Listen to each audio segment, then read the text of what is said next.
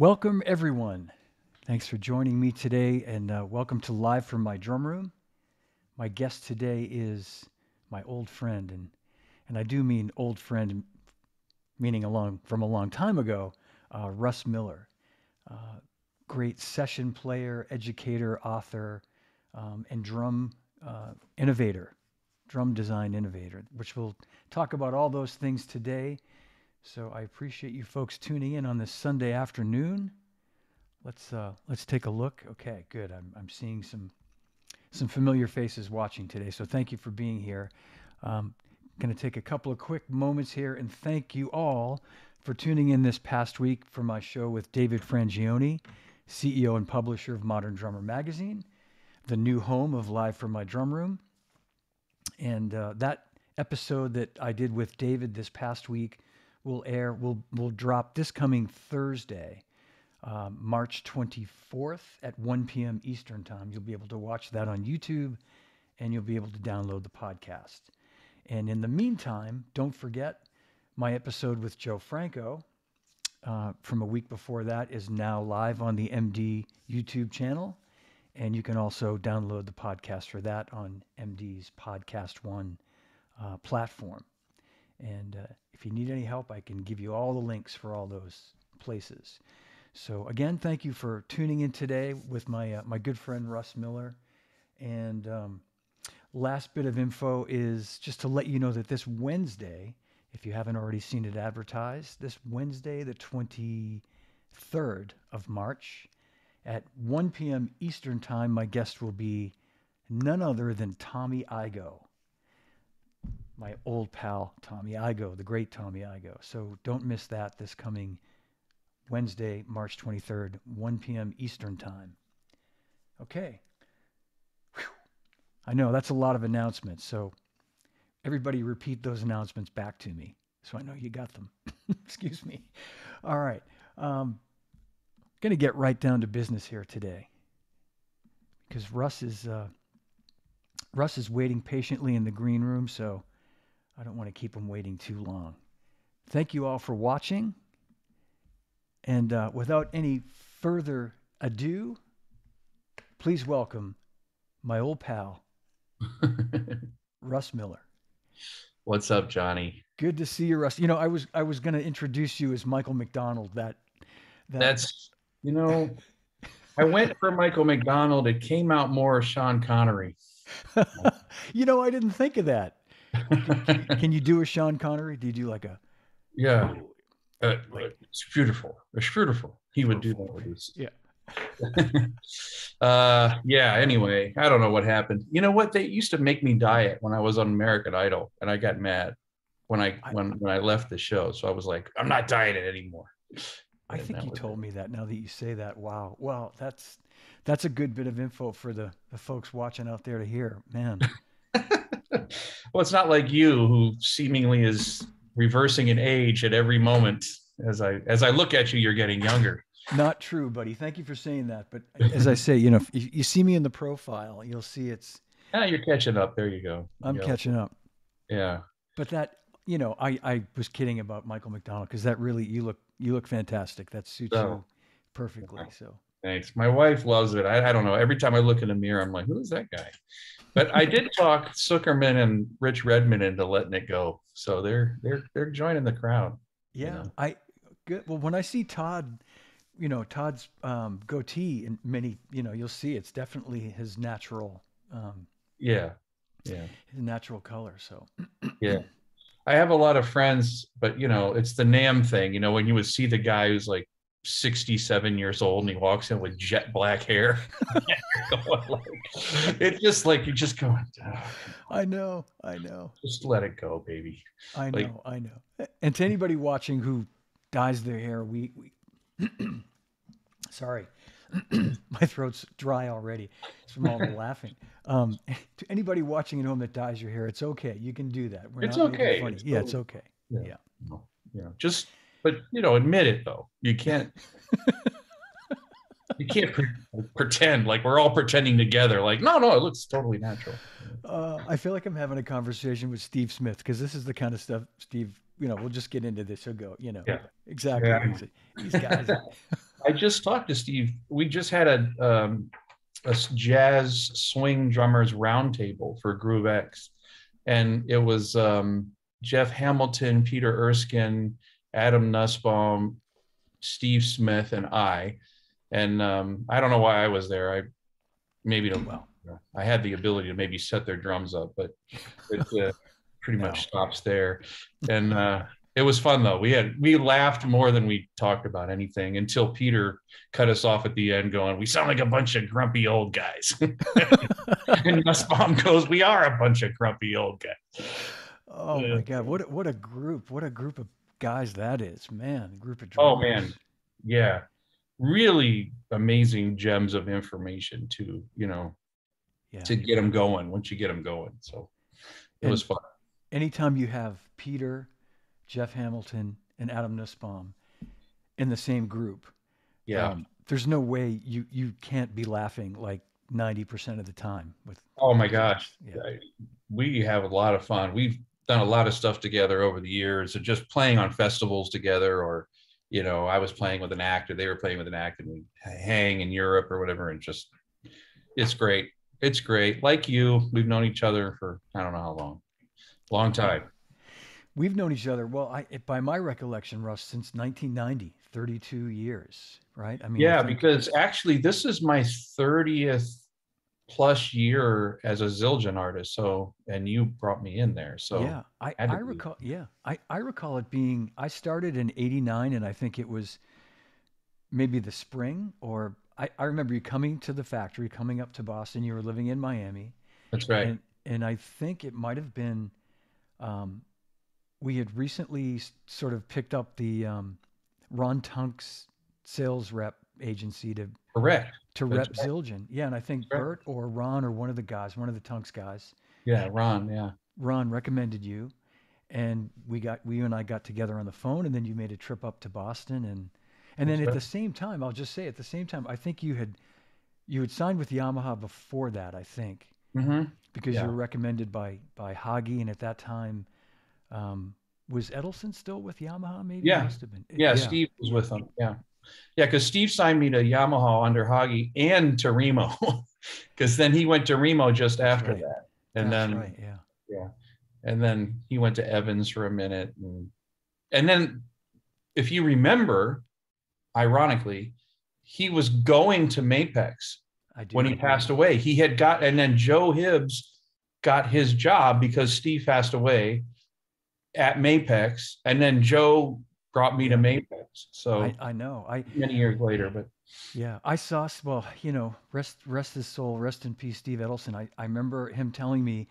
um, at the MD Fest that May of 2001. It was the year I got married. It was like a month before I got married, and he said to me, uh, "Yeah, I'm, I'm I'm moving to Nashville, and it's going to be a bit of a change, but it's cool, man. I'm ready. I'm ready for a change." And and he was excited about it.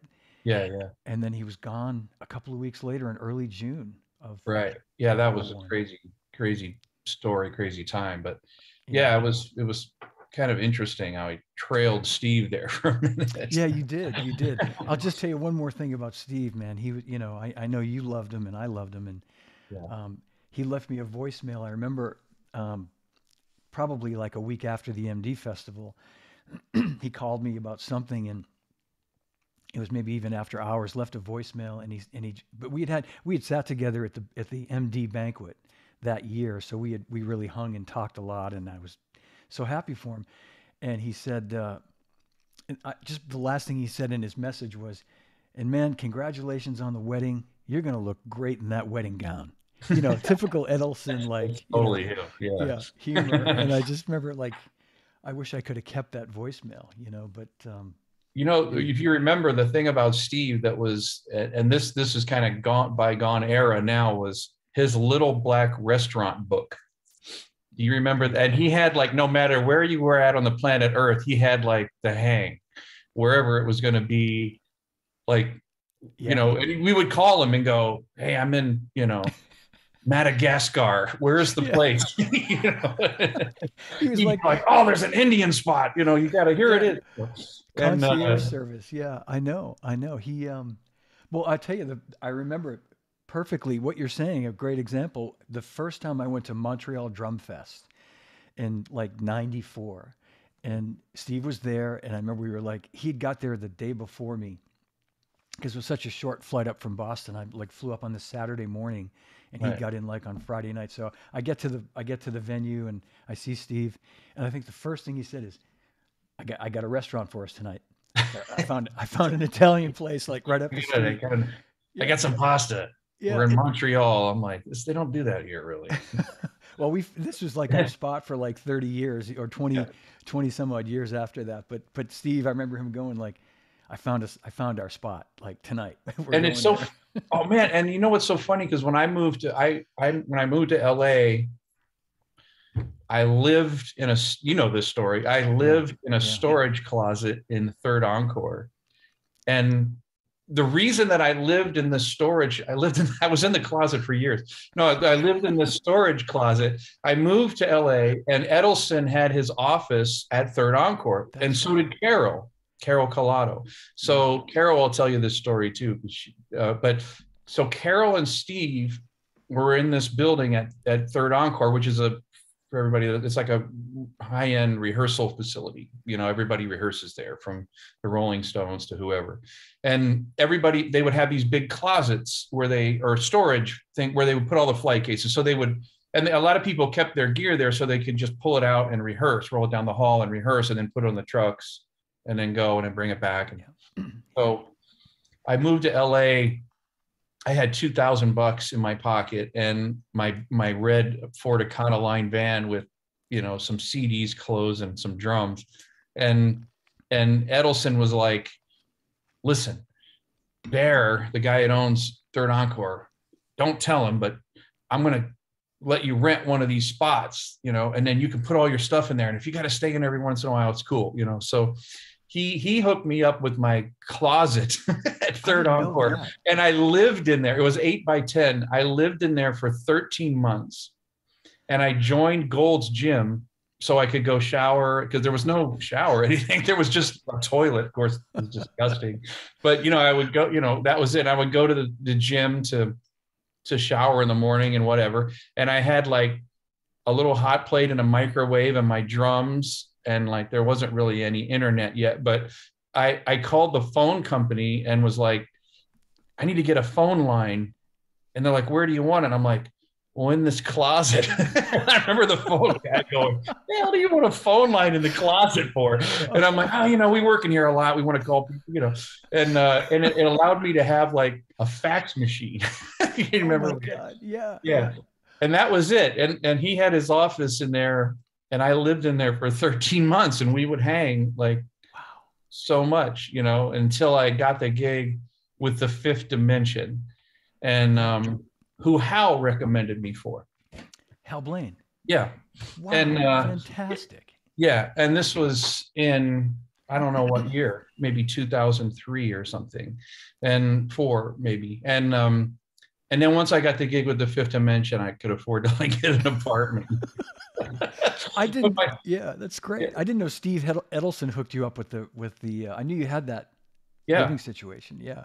yeah, he's Wow. the guy that hooked that because they were at the Yamaha Artist Relations office was at Third Encore, so he was Yeah. yeah, and Carol's office was there too. So she always laughs about it now when I talk to Carol about it. To think that I probably spoke with you on the phone many times while you were In the closet. in the closet. Just I'm thinking you're in your fancy LA pad, you know, but Oh no, there was that was there was no fancy LA pad for many years later. That was yeah, that was for sure. oh man. Well, there, I want to quickly say hello to, to Los Carlos Guzman, who's who's in the house as he always is, Yes. and big hello to Los, and also Anthony Casina um, is asking. He's he's a he's a frequent watcher here. Yeah. Yeah. Hi, Anthony. And he's asking if you could talk about changing where the pulse is developed from your hands and feet to more internally and mentally. Wow.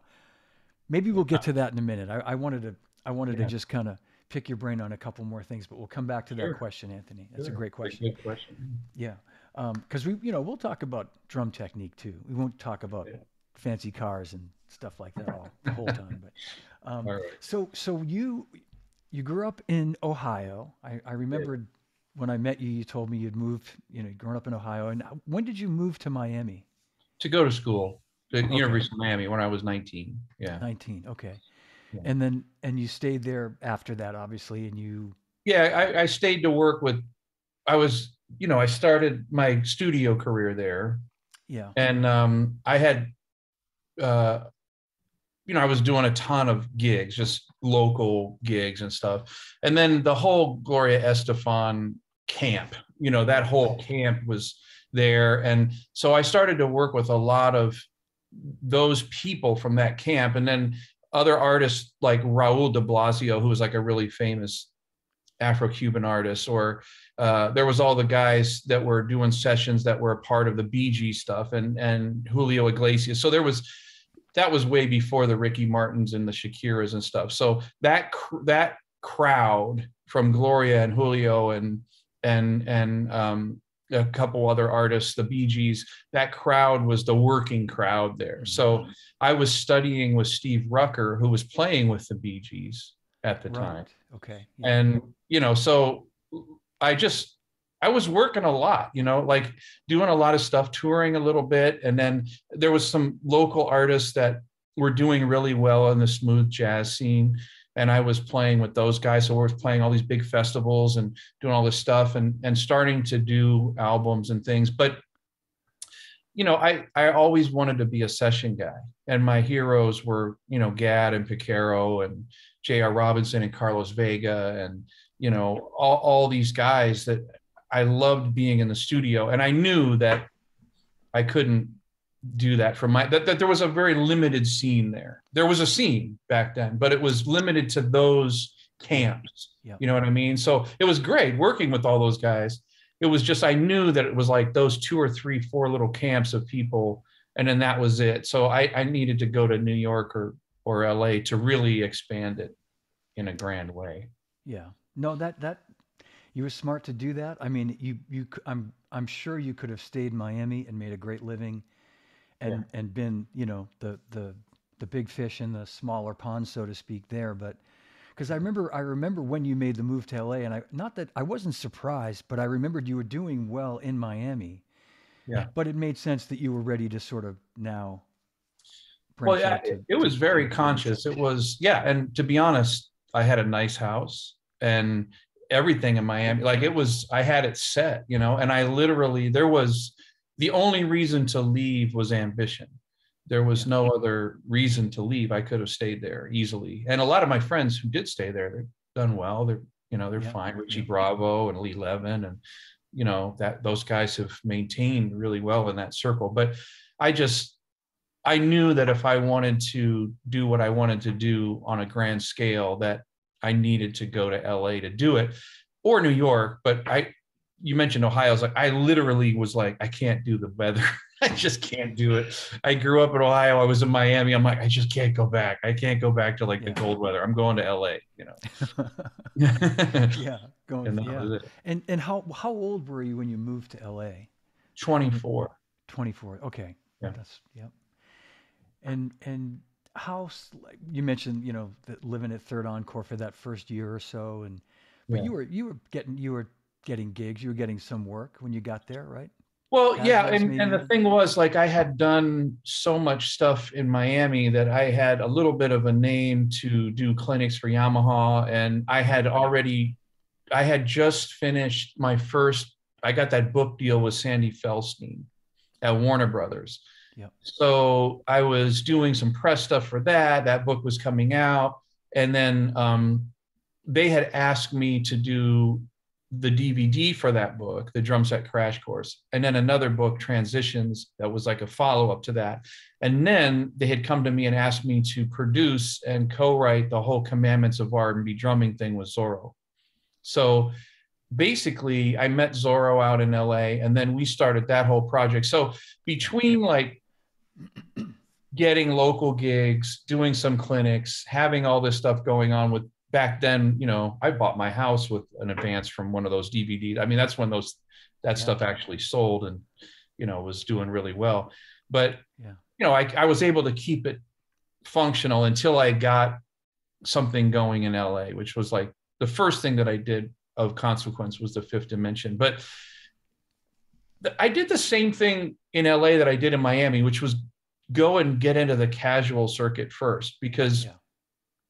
people don't know what that is. You know, it's weddings and bar mitzvahs and corporate events. And th- because what would happen is the offices back then would put bands together. They weren't set bands. They would go Saturday night, yep. Cohen bar mitzvah, you know, eight yeah. piece band, call three horns, drums, bass, blah, blah, blah. But what happens is in LA, you know, you'd look over and it was Bruce Conte from Tower of Powers on guitar, and you know, Andrew Grouché is, you know, the MD for or Don Wyatt or somebody's MD for Kenny Loggins is on, you know, piano and all these horn guys. So what would happen is you would start to meet all these guys. And if you did a great job, then they would start to recommend you. And then next thing you know, like, you know, I just did one that the MD for the fifth dimension was on and he was like, man, I really want you to cover this gig. And and then um, I Hal actually ended up being involved with that and who was playing drums. And I had met him many years before. Uh, and then when I got to LA, contacted him and talked to him uh, several times. And then he knew that MD. And um, I said, well, you know, I got a couple recommendations like Hal Blaine. and he's like, wait a minute, Hal Blaine, you know. So, you know, I pulled that string. That's great. Yeah. Yeah. No, and that's you know, how it started. You've always you, you've and, and I and I, you know, I know you know what I'm saying when I say this. You've always been able to um, I mean, you're you're a really really smart guy. That was the first thing I noticed about you when you were, you had to be I mean, 22 when I met you, maybe, or yeah, something like that. Early 20s, and you were really, really just like head and shoulders above a lot of people that age in terms of just your your business sense and reading the room. You know what I mean? Kind of like knowing the the right people to get to know and and getting from from point A to point B in the most direct way. And so, um, I, I that was one of the first things that I that I really liked about you is how you like at the time I met you, I remember you were doing clinics for Yamaha already. I think at that point you had a, a big like when electronics were like a, a, a, big thing, which they they are now, but in a different way as we know. But like yeah. you had augmented this your kit with electronics, and you had a sampler, and you had the whole thing going on, you know. Yeah. And like you were yeah, ahead of that. Yeah, Weckl and I were way into that scene when yeah, I yeah. and I had met him when I was that age too, and he was an influence on me. And but I kept in contact with him, and you know now we've been friends for many years. But he's he, you know, we talked a lot about that, about yeah. what was going on with electronics at that point, and yeah, I was way into it. I ironically, it's funny. I think we were doing way more with electronics back then than drummers are now, to be yeah. honest. I think you're right. Yeah. I mean, now it's like I see a guy with an octopad and he's got a hand clap and a but back then, you know, we were triggering a lot. Um, Tony Verderosa, if you remember, I was like really cutting edge with stuff. You know, Akira Jimbo, not many people know, but Akira really saw what Tony was doing and took it to another place. But Tony was, I don't know if he was the originator of that, but he's certainly one of the very first that I ever saw putting on melodic things. And Yamaha had and Cat, I was involved with Drumcat with Mario, and but the original one. Yes. And and we, they had broken this sort of technology where the MIDI notes would alternate when you hit a pad. So that was a big deal. Like you hit the pad before it was like one MIDI note, one sound, and then they came up where you could stack them. That made yes. so then we were able to make chords.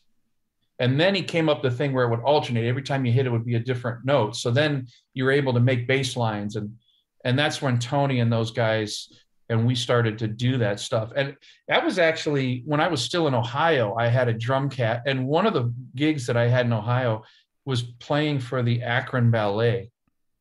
And I would go in with a DrumCat and some percussion, and they would I would improvise whatever they wanted to practice in. So that the the the, the instructor would go, "This is in five sixteen, or this is in five eight or seven eight or in four or three," and I would have to come up with some piece of music in real time, like improv, like that, with some melody and some percussion enough for them to be able to practice their dancing in those time signatures and different Wow. things. And that was what I was doing, you know, after I left high school before I went to college and all that. I was going to say, so you were a teenager, high school, just after high school, and your your reading and your, you know, your comprehension of different time signatures was that good, then that you could. yeah. Wow. Yeah, I was way into Yeah. it because I, my school, you could, it was a vocational high school, but back then, lucky for me, you could major in music. So a lot of guys were doing like, you know, automotive repair or whatever. And I, I had music all day. So I, I had like composition and arranging and stage band and jazz band. And I was marching with the Canton Blue Coats drum corps and I was playing gigs at night and you know, with the cover band and teaching at Zampino's drum shop, like all these kids how to hold the sticks. And Yeah. so I was playing and music, I mean, literally from eight in the morning till two in the morning, like every day, every single day, like hardcore, pretty Yeah. hardcore.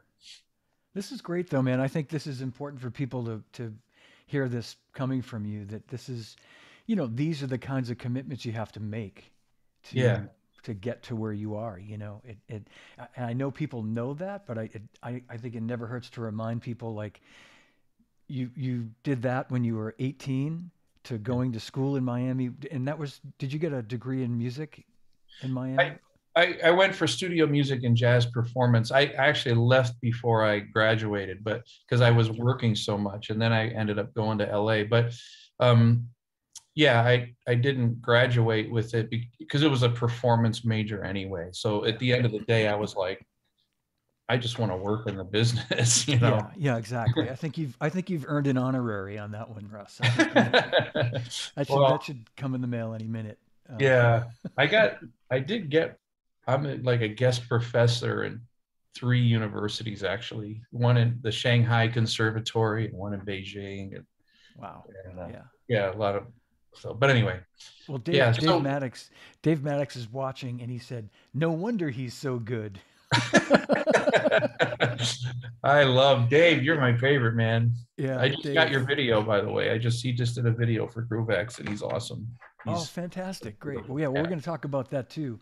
Um, but this is this is great because you know, again, just like all these things that we're talking about leading up to you moving out to LA and then you know paying your dues out there to where you, you know, became one of the cats. Like you you moved into a very coveted position in LA to to play on big records and you know when when going into a studio was still a scene.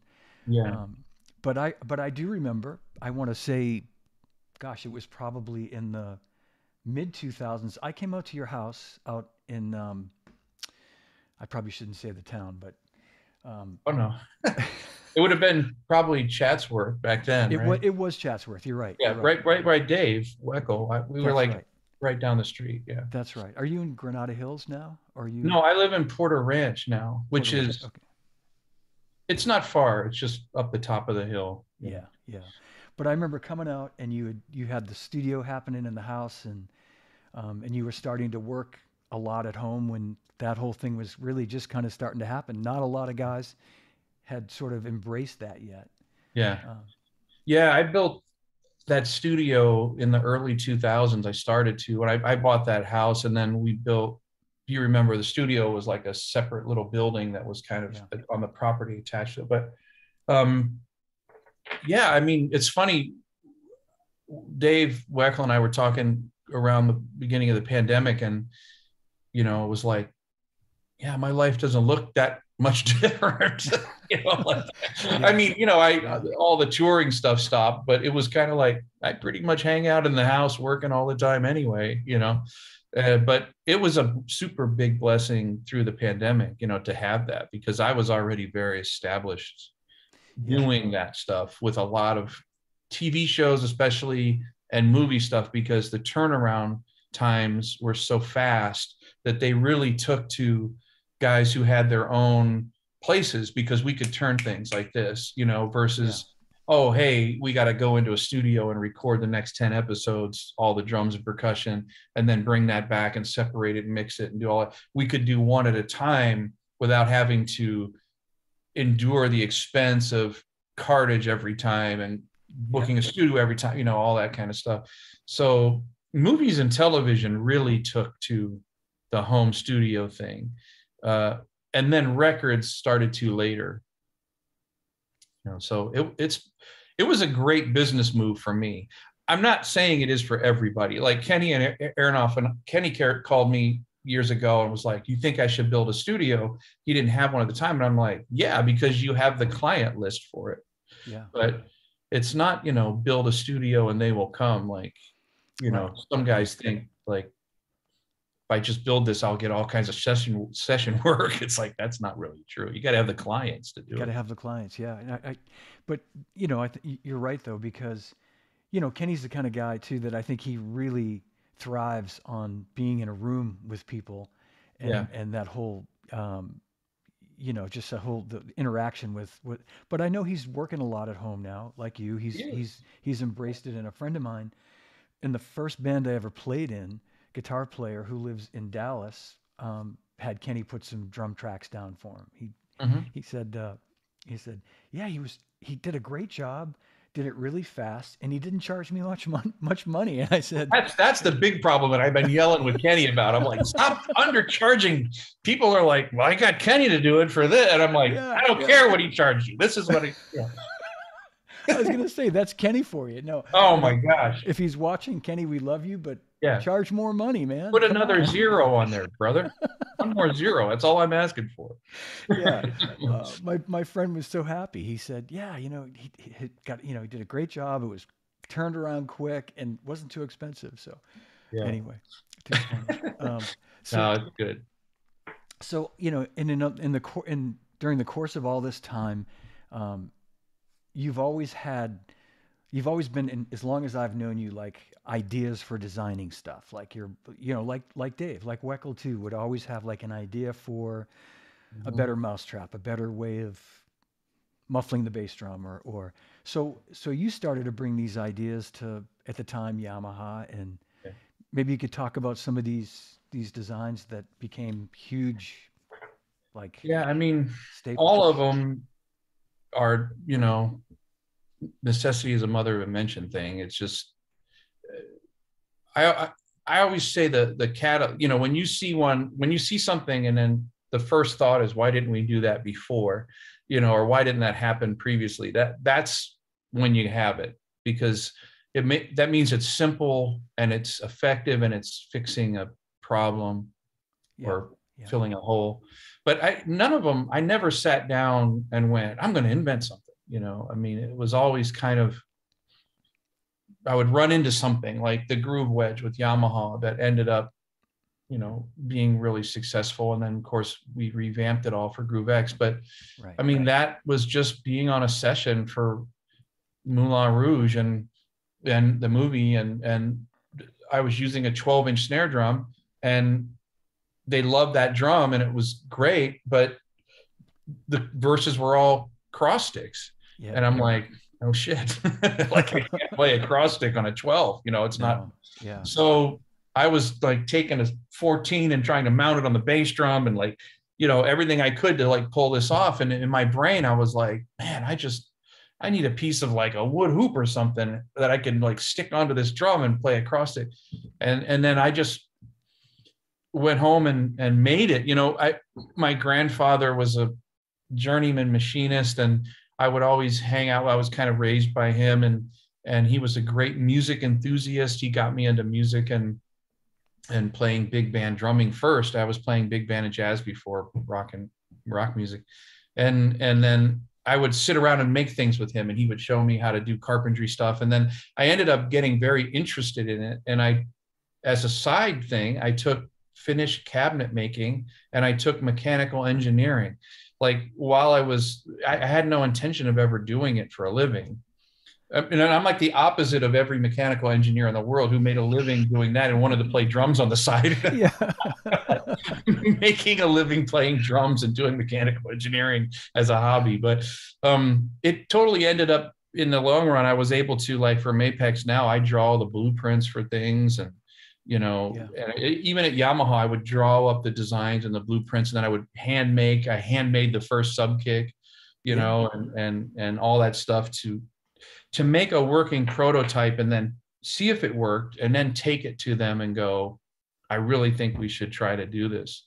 But you know, there a lot of things have to be in place, right? You got to Right.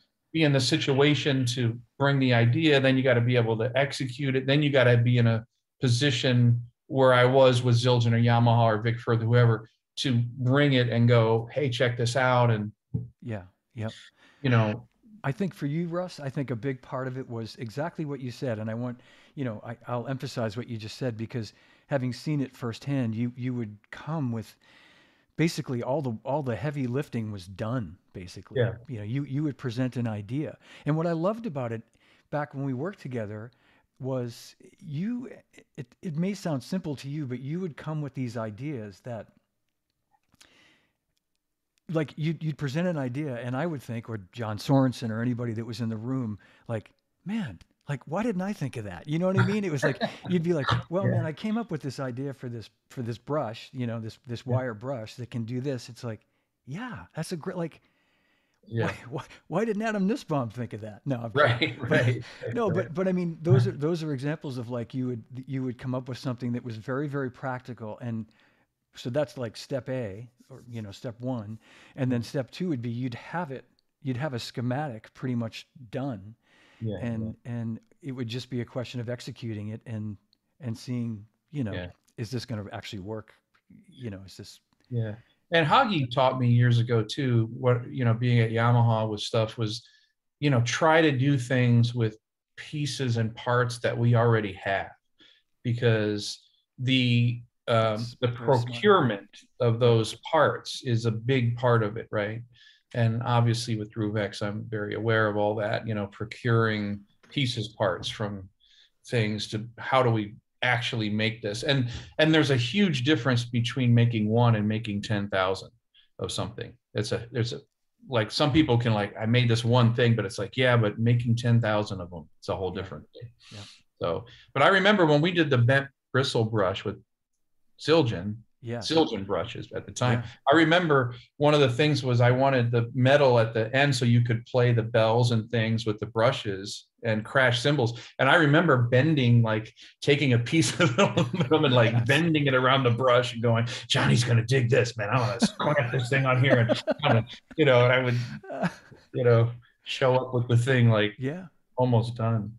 and even even um because I, I think we we either had a signature stick with you or a stick that you designed a, a you know regular stick that I, I know you're with Vic now with the same company but but I remember you had actually drawn the schematic for the stick as well Yeah. like yeah. the you know the the you know the dimensions for the for the the bead and the taper and the shoulder and you know and that's that's a huge part of a company designing a stick is finding those kind of Yeah. sweet spots for those those measurements you know but you had that all figured out Yeah, it, well, we started with the Zildjian stick before they bought Vic Firth.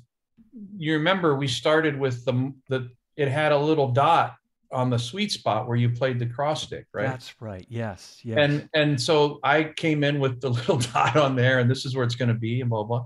And then when that's it right when they bought Vic, we just sort of converted it over. That was right when you were leaving, but we Yeah. sort of converted it over to the Vic Firth Extreme HD, which is my signature stick. It's been around for a long time. But and but I literally, not joking, literally took the Zildjian stick and went, I want more high mid definition on the cymbal. And I sat with a grinding wheel and I shaped the tip of the stick until it sounded the way I wanted it to. i believe And I took it in.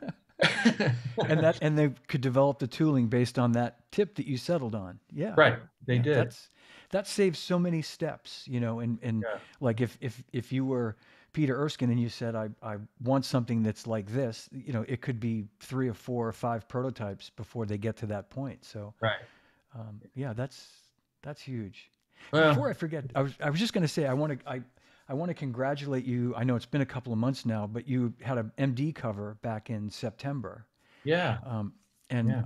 I haven't, I'm embarrassed to say, but I'm glad I haven't read it yet because I, I wanted to have today be hopefully something very different than what MD has put in the magazine. So now that this is the MD podcast, Oh yeah, yeah, yeah. it'll be kind of double the double the pleasure for all the MD readers and Yeah. viewers. So Yeah, that was cool. congrats. That was very cool. Uh, and I I was in Florida with with Christine and Josephine, my wife and daughter. We were just on vacation, and Carlos Guzman said, you know, I, I've known David Frangioni for many years, twenty some plus years since I was in Miami, really. Mm. And uh, I went to his awesome museum that he's got there. I don't know if you have you been down to I that haven't. I, I have to check it out though. No, I haven't. pretty out of control.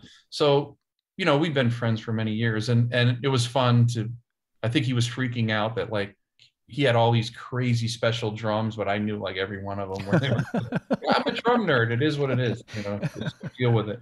And um, so we we hung and then and we were talking about MD and you know I've been so involved with Modern Drummer over so many years, been in it many times, but never on the cover. And you know wrote the column, took over Roy Burns' column and wrote that column for seven years almost. And and then he was like, "Well, how's it going?" Blah blah. blah. And and we were talking. He's like, "When's the last time you've been on the cover?" And I go, ironically, David, I've been on the cover of every magazine in the industry all over the world, except for Modern Drummer. and he was like, "What?" You know, he just couldn't believe it. And um, so it was really fun. It was fun That's to do that. That's congratulations. And I'm, as soon as we're done with our show today, I'm going to read it. Okay. And, right. and uh, And Sarah Hagen did the interview, which was right, fun. that's right. I saw that. Oh, that's great. Perfect. Yeah. yeah, we had a good time. That's awesome. So we we've talked about. Um, I had made a note about your about your book, um, drum set crash course, and and there was a follow up. You said. Mhm. Um, I wanted to ask you because, and I remembered this as well, and I, I saw it on your website too. That reminded me. The record you did with Giovanni. If you could just for a minute talk about how that collaboration sort of came to to Yeah. uh, to be with Giovanni Hidalgo, so people that are watching, Yeah. the world's greatest conga player. Yeah. Yeah. Yeah, I, I love Geo. And you know, we we had known each other for a while and we had played together a few times in various places. And um we were having dinner one night and Paul Quinn, who's my attorney, who you know, uh, was like, you know, you guys need to do a record together, you know, because I've had the label now for I don't know how long, 20 some years, and we have 16 people on the label, 16 artists, um, all different. I mean, people like even Kirk Covington's, you know, Captain Kirk and the Devil Horns Project, which is he's number 19 right now on the AC radio. I mean, it's unbelievable. that he, he's had four top 40 hits, and this new one is top 20. It's been in the top 20 for like four weeks. He's so a talented. Yeah, it's just yeah. it's really fun to see that happen because that gig is very earth wind and fire you know all live horns and, but anyway um you know he was like you should do it on the label and blah blah so geo and i got together and talked talked it through and then i flew down to criteria in miami and i brought uh Rique Pantoja, who's superstar in Brazil, pianist that I worked for. I played on his albums, many, many albums, and he played on some of mine over the years. And he was in a very famous sort of the the Yellowjackets of Brazil, a band called Cama de Gato. And and uh, so he's very well known. And Mm. So Gio was very excited that Rique was coming, and then Jerry Watts, who I, I'm sure you probably know, Sure. bass player, Yeah. and then Richie Bravo came and made an appearance, and we did some stuff together. And we basically were in at Criteria in Miami for like a week, and we just took everybody away from their lives and just went and made that record. And um, it, it's pretty awesome. It's called Two Become One, and we had a kind of a hit song off it. It was a Beatles remake called Things We Said Today. It went to number 32 on CHR on Top 40 Radio, which that was kind of funny because it was like Megan Thee Stallion, Russ Miller, and Giovanni Hidalgo, like Cardi B. You know, we were like doing posts like with me and you know Cardi B fighting each other. but it- You know, so that and six bucks will get you a Starbucks coffee. But it was uh, it was pretty cool. It was pretty cool to hear it on the radio and yeah, see man. it taken that you know in this day and age for it to do well. But yeah, it's a great. Re- I love the record. It's all live, all live horns, the Vine Street horns, the Phil Collins horn section. All those guys Yeah. are on it and really killing. And people can buy it from your website. I know there's a, a Yeah, you can get it or just or download it. Yeah, just Yeah. download. but I- but- But to your point, what's cool is that, you know, you've played on a million records, big pop records, you know, that have Grammy award winning, multi platinum for other artists. So it had to be so cool that your own record is like charting, you know, in, in the Billboard chart. It's like, It- yeah, oh, it's Yeah. pretty a trip. It was Yeah. kind of a trip. Yeah. And to see, you know, like you said, like I've seen other people's names many times on Billboard or whatever, and but to see your name is like, wow, that's a trip, you know, or you know, for Grammy nominations or whatever, that that it's actually you, you know, and Yeah. not, you know, but but Geo deserves all of those things. I mean, Well, he's he he's does. And so he's do the you. Buddy Rich of congas. He is the Buddy rich of congas. But it probably gave you a lot of cred with your daughter, too, with Joey. it's funny. She was embarrassed because I would tell, I would go, Daddy's song's number 32. Look, it's above Cardi B. And she's like, oh, that's just not right. like embarrassed, like, Dad, don't tell anybody, Dad. I'm like, oh, okay. Oh, man. I mean, that you know um, what that it sums it. I'll, I'll tell you where it sums it up. When like Steve called me, Gadd, years ago, and was like, "Can you teach Duke?" This Duke was younger, you know, Yeah, like yeah. 16 or whatever. He won't listen to anything that I say, you know. you know, and I'm like, that, that pretty much. And the same thing happened with Richie Garcia. He's like, "Can you teach Roland Garcia?" You know, Roland Rolly. He he became like one of the top percussionists in the world now. Roland Garcia on Idol and does all Yeah, the Kanye West stuff. And but at the time, he was like, "Can you teach Rolly? He won't listen to anything." You know, and it, it just kind of sums it up. It's like when when your dad is Steve Gadd and you still don't listen to him about drums. I mean, it's kind of like nobody's dad is cool. It just doesn't. Right. Yeah. No, Yeah. I know. He, Steve probably like just became exasperated by it. Like, no, Duke, just yeah. Yeah, and yeah, Duke would come over and take lessons and. And then I, the funny story is my daughter Joey. We went. They had like the career day thing for your dad, and at the time I was doing American Idol, and and uh, we went in, and her friend's dad works in the for the sewer department, but in the big sewers where the- you walk underground in the huge tunnels like you always Yeah. see in the movies or whatever. And he was like, "Yeah, I work in the Department of Water and Power, and I'm under the sewer. You know, the everybody's like, whoa, that's so cool in the tunnels, yeah." And and so I was up next, and and and the teacher goes, "No, Josephine, what does your dad do?" And she goes, "Uh, "Nothing cool like that. He just plays drums on TV." and I'm like, man, that's all I get. That's all I get. Okay. Oh, that's awesome. Yeah. hey, yeah, he he was a tough act to follow. Come on. Yeah, man. you know, it was like, gets to wear the hat with the light on it. You know. yeah, That's oh, there's a lot of cool stuff going on down there. Oh man, well, we're going to come back to that question that Anthony Cascina asked at the beginning, but I, just, I don't want to forget um, to talk about, you know, you made the move to Mapex, um, Mhm. and I remember the year because it was you, you made that it was a huge move for you and in the industry, and it was at the same time I left Zildjian. It was 2012, That's right. and and I remember, you know, not long after that. Not surprisingly, things you know, and Mapex was already kind of you know they were they were definitely on the move, but you going over there really changed the face and the and the look of the company. And Wow. so, what what are some of the products? Maybe you could just talk about some of the the things that you helped bring to light there. Uh, well, Joe Hibbs brought me over, and really, you know, to be honest, it was. I, I felt like I never really left Yamaha. They they, they kind of left me. Like their whole thing changed. You know, I- Hagi left.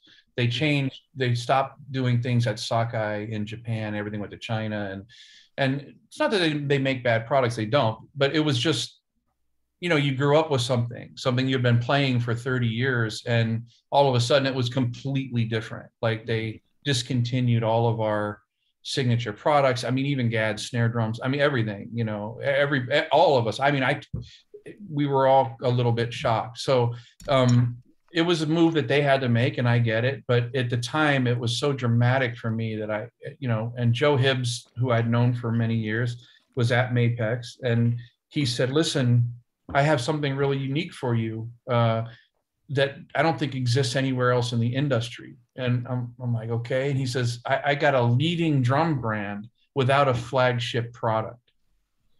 And because most brands are created from a flagship product and then they build downwards, you know, like take Sonor or something. Sonor makes sure. SQ2, it's this incredible drum set.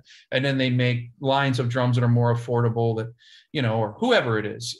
Most every brand. And when we were kids, brands only had one drum set. That's right. Exactly. You know, exactly. that was it. They had one drum set at a time. Like the premier, you know, Royal Ace was like, that was it. We had that, you know, or it was yeah. like, the, you know, the Ludwig Classic. There wasn't 10 different lines of Ludwig. There was just Ludwig drums. That was it. Yep. And and the same thing even with Yamaha. It was like the recording custom was Yamaha drums. And then later on, when they started to release more affordable lines and the and the industry started to do that. Everybody had different lines of drums and things but when we were kids there was just gretsch had one drum set and right. and, and so on and so forth. So mapex had because they were an OEM, uh, OEM manufacturer, meaning they made parts for a lot of other people, and a lot of people don't realize that the mother company for KHS that owns Mapex, they make a lot of people stuff, a lot of you know drum companies hardware, a lot of stuff, racks for different companies. I mean, all kinds of things. They started this brand, but it had started with more affordable, inexpensive gear. So they never did what everybody else did, which was like, let's make this, you know, top of the line, incredible thing. And then like come, it was like they were going the other way. Yeah. So he was like, this is a really unique time for you to come in and be a part of designing what the flagship of Mapex was going to be. And I, I was like, wow, that's that is true. Like, where else are you going to do that? You can't go to DW. They they've got their flagship thing, you know. Or yeah. So yeah. it was really an interesting thing for me to be involved in. You know, some challenges, you know, because the instrument that I wanted wasn't there necessarily at the time. So, uh, you know, Hibbs and I built custom things. We did all these things. And then we started working on stuff. And then, of course, he passed away.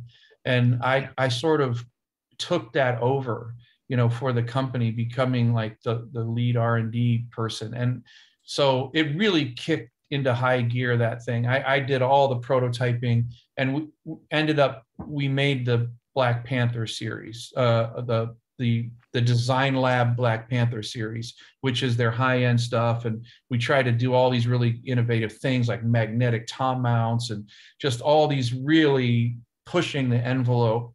And it ended up bringing the whole line up to that flagship. And, and now Saturn Evolution and the new Saturn and all the new Black Panther snares. I mean, look, man, Mapex, they they've got the best instrument for the money in the market bar none. You, nobody can say that that mm. anything but that. Yeah.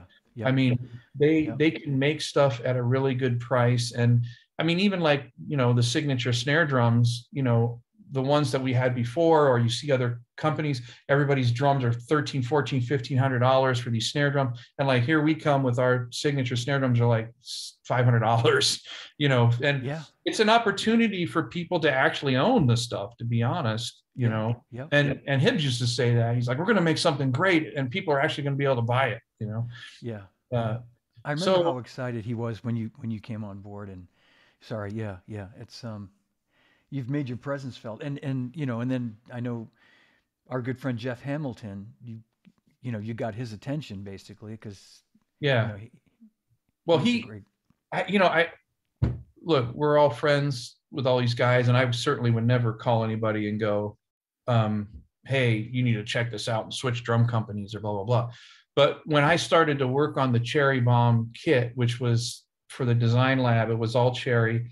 And I literally went, okay, the, the one thing that we did with Mapex that's different than every other company is most other companies work with materials first. Like, hey, let's find this wood and let's make snare drums out of it. We'll see how they sound. And if it mm-hmm. sounds great, we'll make a couple different models and we'll sell it. This was totally the opposite. Because we had so much to do, we you can do that when you have all these other things. But when you're going, we don't have a drum set yet, like yeah. not one, you know, like yeah. so it's like we I, we went the other way. It was like let's make a sat, let's come up with a sound, and let's build that sound first and then we'll build another sound and another sound and we'll work that around and then we'll we'll build this line rather so what we would do is not go hey let's make a copper snare drum we'll make an eight a six and a half a five a three and a half because the problem is not all of those drums are great drums. It only works if you have a ton if you got 50 snare drums in your range then okay fine. You know have all mm-hmm. the different sizes and somebody might dig it blah blah blah. But we only really had the opportunity to make one copper snare drum. So it was like, listen, what does that drum need to be for it to be great? So I literally, not not joking, would sit down with albums and go, okay, I know that's a metal drum. I know this is a steel drum. This is Stewart Copeland's snare from Walking on the Moon. This is Don Henley's snare from you know uh, Long Run. This is and and I would try to like make those sounds and and try to do that. And that's what we ended up doing with that. And it it I think it it really is effective. Why there's only 15 snares, but they're all great. Yeah. And and you know, I mean, I own a hundred and some odd snare drums. I mean, and but some of those drums are some of the best ones that I own. And I mean, I got no BS. You know, I got Radio Kings and Black Beauty. I got all that stuff, but yeah. some of them are really happening. And that was it. You know, that was the whole approach. So I, I think it's done really well. I know they're like the Black Panther snares are doing extremely well and all that's doing well. But that was it took a while, you know, to, to do that. Yeah. I, I think what you just said is huge. It's so huge. Like the the concept of you know building you know building what what you what people want you know basically in, in short you know not not building what you can make right and what's easy to make it's yeah. it's um yeah, no, it's uh, you know more people could could learn from that kind of you know marketing strategy or or product strategy. You know, it's yeah, and yeah, Mapex's been really. I mean, I couldn't ask for anything more than what they've done as far as the freedom to do yeah, those things. Yeah. So, eh, but anyway, to to answer the Jeff Hamilton question, that was the long-winded way of saying I literally went.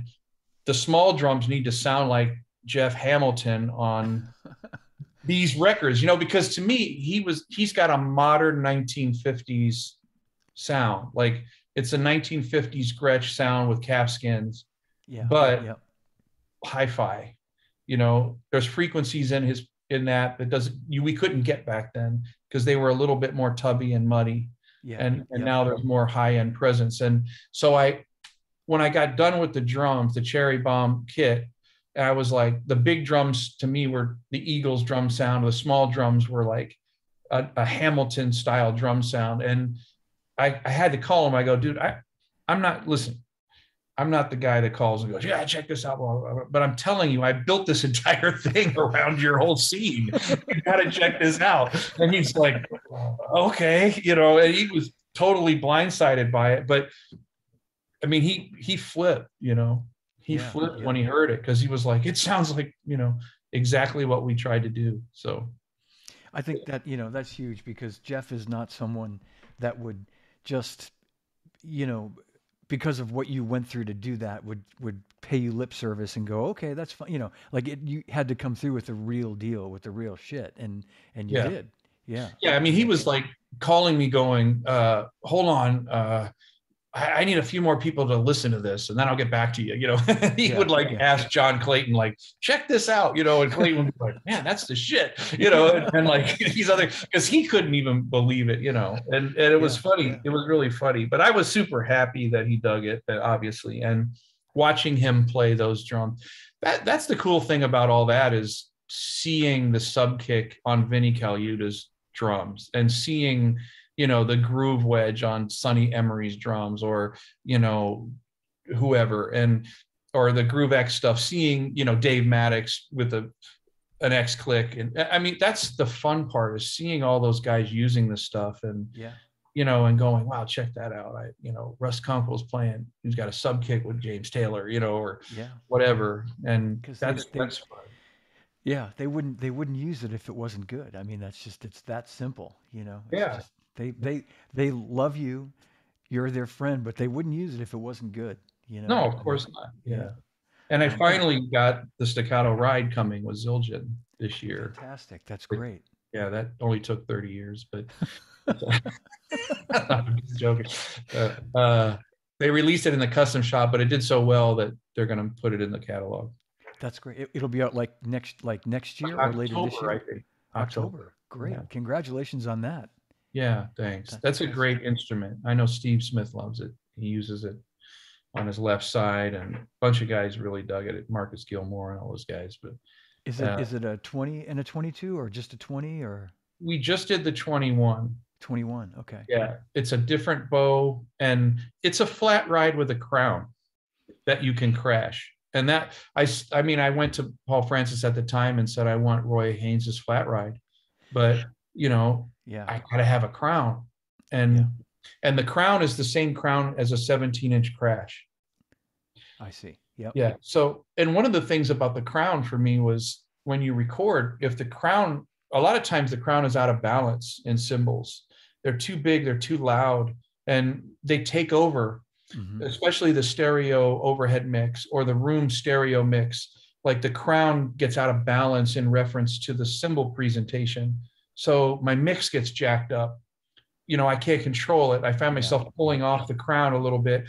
Like I didn't want to do that. I wanted the crown to sit in the correct present, presentation as the rest of the ride and and then the big thing for me was I, I I, I crashed the ride a lot. So I, I wanted to have that cymbal react and and be able to be you can't crash a flat ride, you know, that yeah, right. You know, work. So yeah. it took a lot. It took a lot of time, almost three years to do that. And we ended up doing a 21 inch uh, rarity cymbal that Paul made for me. It was a K custom, a K custom thin, right? and it sounded beautiful, but you couldn't really crash it yet. So I, I said, listen, if we lathe this thing and just keep working the metal, try to loosen it up, can I get this thing to crash? And and we finally did and changed the bow a little bit and then the crown size. And I mean, it's a really unique cymbal man. And it's hard to find something that Zildjian doesn't have. Yeah, yeah, you're right. They got yeah. a lot of shit, man. You yeah. know. So That's exactly right. It's it's when there's that much stuff already in the catalog to find something to find a, a, a true sort of gap is is hard to find and yeah it sounds like you have yeah we did we yeah. totally did i stand by it but it but it took a while it took a long time to do yeah. it but I, am excited it's it's fun awesome.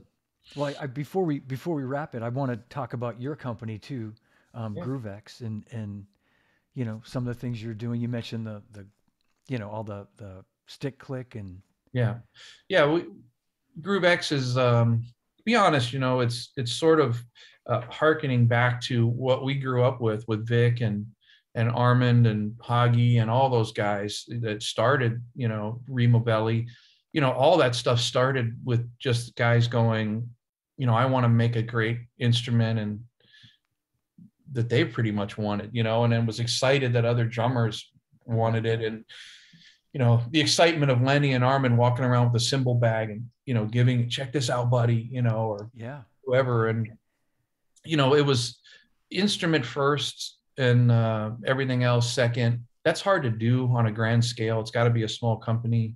Um, so I just, that's it. You know, I, I've been taking the designs that I had that patents are up on and, you know, getting either redoing those or doing a whole nother design of things that I thought, hey, this was the, the holes that I saw in the first stuff. And mm-hmm. so we have the X Click is, you know, the cross stick thing, a redesign the mounts, really small body, just works incredible. Now it's copper and wood mixed together. And, and, um, you know, we got 50 guys that are artists. I mean, it's like the dream artist lineup that every drum company in the world would want, you know, with all these it's like Erskine and you know Steve Smith and Hamilton and it just goes on and on. Ray Luzier and Matt Greiner. I mean, just and so it's been incredible. You know, we have about 19 products in line. We've only got two out now, and the rest are coming. But we have the new magnetic sizzler thing.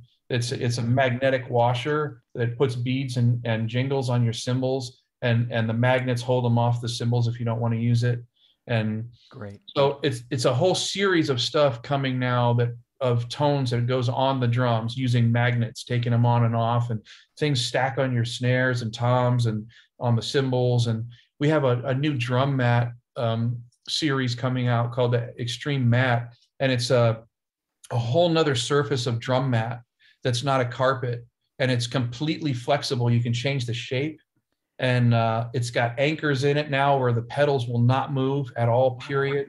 The bass drum will not move, and spiking stickers to mark all your stands and everything. And it comes apart and goes into a little case, so you don't have this big carpet to schlep around. And What's and, the uh, weight, Russ? Do you know how much it weighs? It, it weighs uh, six pounds. Six pounds. Okay. Yeah, yeah.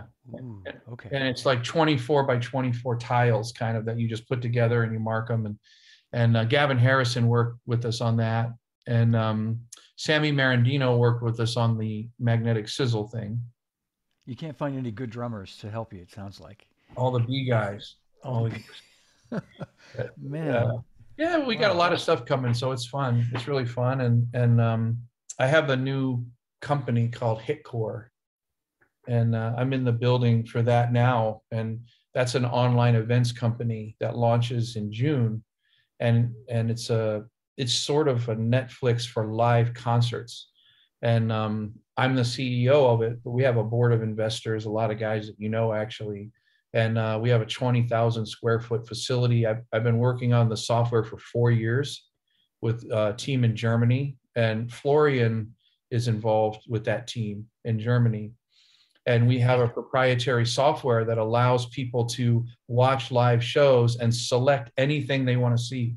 So you can go into the virtual reality camera and look around the soundstage, pinch and zoom into Gadd. Let's say Gadd's playing, you can zoom into the drums and just watch him, or just watch the guitar, or just watch overhead my or drum cam, or you know, you can create a whole experience that's just for you. And uh, when it goes into archive, you can do the same thing and subscribe, and you can keep watching them and change the way you see the show every single time. And uh, it's pretty cool. It's really cool. So I've been working on it for four years, and we have this huge facility now. I moved the studio here and out in Simi Valley. Uh, we got a 6,000 square foot sound stage with 35 foot lighting trusses and 60 foot walls, and just it's amazing. Congratulations on that. That's that sounds unbelievable. And that, that's going to be up in June. June, yeah, it's called? Hitkor, H I T K O R, Okay. and um, you'll see it. It's like a global branding campaign. It'll it'll show up here soon. We we haven't started the marketing yet because you know you don't want to do it too soon because people Yeah. Forget about it. Forget about it. Yeah. But you know, we're you know we're definitely going to come back, you and I, and and when some of these things start to happen, and and have you talk about them. Love Yeah. to do that. oh no, yeah, and you got to come out. You'll flip out when you see it. Really, Yeah. really cool. That's great. I, I want to read you a couple quick comments too. Uh, Yeah. Our friend Mark Pusey, watching from London. I'm Oh, yeah. assuming Mark's in London. Got to say, the X Click is a godsend in caps. Nice. So many drum inventions. Um, try to reinvent the wheel, but that is a product that actually finds a great solution to a problem and nails it. Yeah, Mark's Yeah. a great drummer doing Ed Sheeran's gig, right? He, he is doing Ed Sheeran's. Gig. He, Yeah. he works a ton in London. Great Yeah. drummer. Yeah, absolutely. And he's officially well- the, the best looking drummer in London, too, by the way, Mark Pusey. well, some you know I've been doing in LA for so long. Somebody's got to do it over there. That's right. yeah, no, that, that's that's congratulations for us on all these all these great. I Oh, mean, thanks. you know, you never stop. It's it's yeah, we're going at it. I we just filmed um, a new Blu-ray concert with Arrival, my touring band, with Rick Rick Creevy and Jerry Watts, and and um, we have a new record coming out. And that record was totally fun, and you'll appreciate this because it's a, it's called Soul, Mind, and Body, and it's it's all covers that influenced me over my career, but that we did new arrangements of. So it's three trios. One trio is me and Tony Monaco. who you know Tony from Steve's band, the Yeah. great B3 player from Ohio, actually, and Ernie Watts. So Ernie Watts, Tony Monaco, and I. That's one trio wow. and that's like more of a straight ahead swing thing. And then the other trio is myself and Kirk Covington singing and playing B3, and Pee Wee Hill, who's the I met with Rufus, you know, the bass player from Rufus, and Ellis Hall sang on that. You Oh, know. Ellis. I do. Yeah, and that's all R and B stuff. And then we have the other trio, which is Jerry Watts and Rick Creevy and I, which is the one we normally tour with. And then Stephanie Spruill, who is one of the great uh, session singers. She sang on everything from Michael Jackson to Luther Vandross to everything. She's singing on that, and we have a bunch of new tunes. And then we shot a new live Blu-ray at HITKOR for it, and that that's coming um, in August. Wow. And uh, so, other than that, I've just been hanging out. yeah. And today you have a dance recital for your daughter, so I Yeah, so appreciate you taking some time to do this, and that's that's awesome, man. That thank you. And I want to just Love your new drum room, by the way, man. It looks dope. Oh, thank you, brother. Thank you. Well, I, I hope you can make a trip out here sometime and, and see it in person. I yeah, um, it you long. I got lots of drums in the other room too. This is the this is kind of where I hang out and do my playing, but I got a stupid number of drums set up in the other room that Yeah, I'm familiar. And you got a right handy over there too. I see. I got a righty for when you come visit. I do. Okay. I, I'm, All right. and all the other kits in the other room are set up righty. I just, you know, I, I know I'm I know that I'm the one with the problem, not right-handed drummers. So Okay, all right. Well, all I know is, you know, I just went through a whole thing with Steve Smith about we call it gong jazz. And uh, he's he's got his gong set up. He was at Birdland playing all these swing things but on the gong, you know. And uh, I see you got to get the gong set up there, and you got to call Steve and show him that you're working on your gong jazz chops. I will. I'll do that now that I know Yeah. that. Yeah. Hey Steve, Yeah. check this out. I'll do a little. Yeah, we do FaceTime sometimes, and I'll do a little little swing beat on my gong. Well, next time you do it, tell him I told you that you know I you, will. got to get your gong jazz chops together. it's a great rock band Oh. name.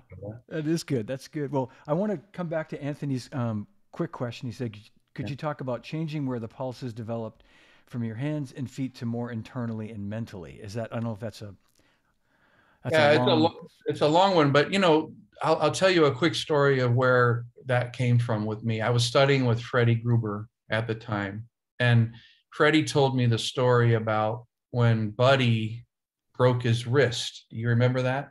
Yep. Yeah. I, I think in his karate class or something. it was. Yeah. and then he borrowed the other bass drum from Louis Belson, and he had a run with the band, and he didn't want the band to be out of work because he had broke his wrist. So he borrowed one of Louis' bass drums, and he did this run. And there is supposedly there's a video on YouTube of Buddy with the doing solos with the two kick drums, Okay. and uh, he had never played two bass drums before, right? Right. And uh, I have to ask Cathy about it too, but he was telling me the story, and the way he referred to it was that, you know, if you had internalized the pulse and the rhythm previous to the execution of it with your hands and feet, if it was all coming from in here and here, that this was only executing what was already internal, then you could do that. You could take something he obviously had facility with his left foot from playing the hi-hat. And but the rhythm was in his body. It wasn't Mhm. out here.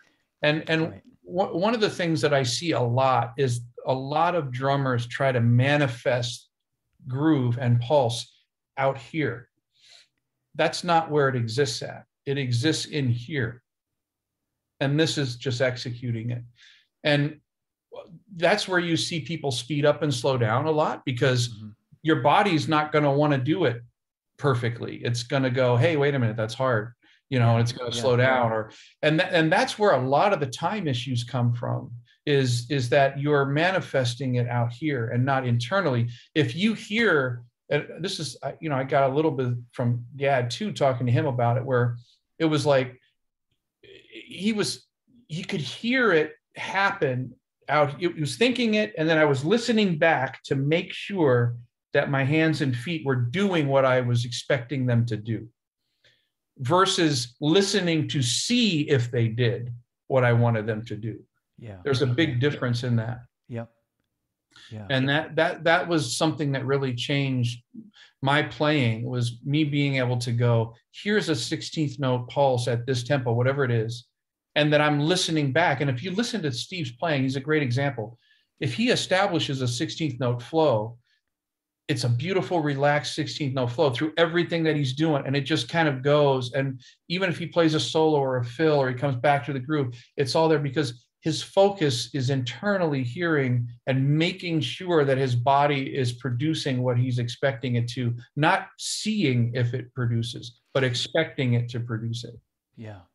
and that Yeah. changed the way that I thought about that. That's that's a great answer. That's a really great answer, and it's a that's a a great way for people to work on that. To Yeah. you know to to develop that internal mechanism versus external. Yeah, and I think that's why a lot of people would say, "Oh, record yourself and listen back to see if it sounds like that." But Yeah. if you're doing that, you'll know that it sounds like that without having to listen back to it, right?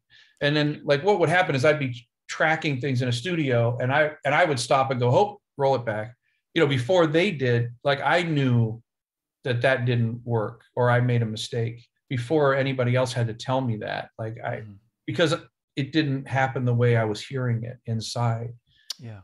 and so those those things i think change change what the way you approach some some things and it's important because the drums are so physical that we have generations of guys now that um, take that path because that's a much easier path the physical path is much easier it's like you're a runner right you can run how far now each day 10 miles Not anymore, but uh, yes, I used to.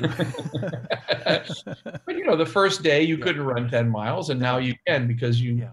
you know, but that's the physical thing about drums is a lot of people let them take, take it over. They, the physical thing takes them over because to be honest, it's easier. It's, it's easier than the conceptual part. That's that's a that's a perfect answer. It's a perfect way to to kind of sum that up. In fact, Anthony said, "Great answer, Russ." So All right. Thanks. All right. Ann. It's a good question, man. Thank you. yeah, it was. It was. He, he always asked good questions. Yeah. Well, Russ, thank you so much. This has been great. This is and and thanks for taking some time out today to. Oh man, my pleasure. Great to see you. Great to see you too. And I and I so hope we can see each other in person. I you know I I had thought about trying to come up for the NAMM show. I don't know if you're going to be even be in town in June, but um, they're having it the first weekend of June. But now it looks like I'm my band is working on June 1st and June 4th. Wow. Um, so I'm gonna. Be- I was trying to figure out whether to go to that. I don't know what's. It's all so different now. I know, I know, and, there's that part of it too. That that do you even want to, you know, not to, to. Shoot a hole in them. but I mean, do you even want to put yourself in that situation? Maybe maybe it'll all be fine. I don't know, but Yeah, I, we'll see. It's gonna feel really odd that it's not like in January. yeah, yeah You know, I went to I don't know how like you, 30 of them in a row or some crazy amount. yeah, And uh, but yeah, hopefully we can. Please come and, and see the place and um, get over there. Tell Kelly and everybody I said hey. I sure will. I will. And and my love to Christine too from us and Yeah. and, and Joey, who I remember as a baby, who's now you know a teenager. You know. Yes. Yeah. Going on 30. All right, my friend. Well, thank you again so much. Hang out for one second. I'll end the uh, live broadcast and we'll say goodbye in the, uh, in the Okay. green room. But All right. everybody watching, thanks for tuning in. Big hand for Russ Miller. Bye everybody. Thanks again, Russ. And tune in uh, Wednesday. My guest will be Tommy Igoe. Oh, very nice. Yeah. Tell him I said hey. I will tell him you said, hey. All right. All right. Hang tight for one second, Russ. Thanks again, everybody. Thanks for watching. See you soon. Okay. Awesome, buddy. All right.